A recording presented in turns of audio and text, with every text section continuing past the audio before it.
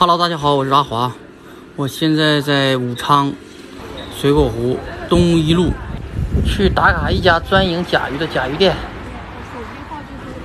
进屋尝一下，看这个甲鱼是什么样子的啊？有一桌在这里吃呢。哦，好像是火锅的样子。进门要先选甲鱼吗？这甲鱼都是鲜活的。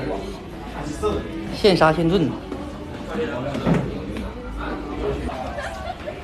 楼上也有地方啊，他们上二楼去了。你俩点吧，我就等着吃了。快点点吧，拍啥呀拍呀？吃个饭真磨叽啊！生意太好了，家忙的直跑啊！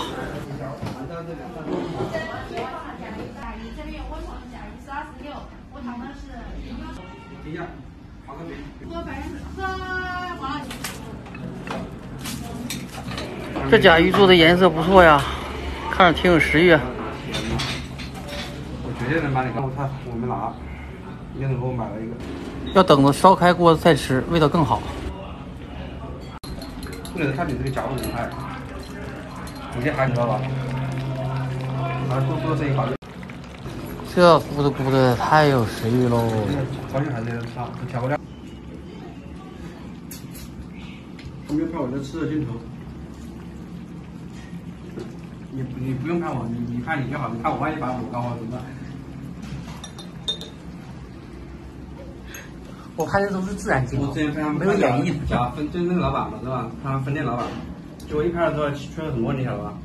很多女孩子去要老板电话号码，我去，老板是单身。我说聊到老板，店子都是你的，就我真的可能觉得女孩子找他要电话号码，然后他现在请别人吃饭，那老板特别好。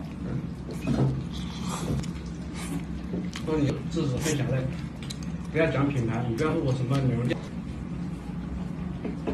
喝一大口。那一天他的房子就是买房子了，想着这么远他肯定跑不了，就后来呢，做生意就是我看下来，做生意就不能这样子是吧？做生意就好好做生意，我八天爱打打麻将，这点不好。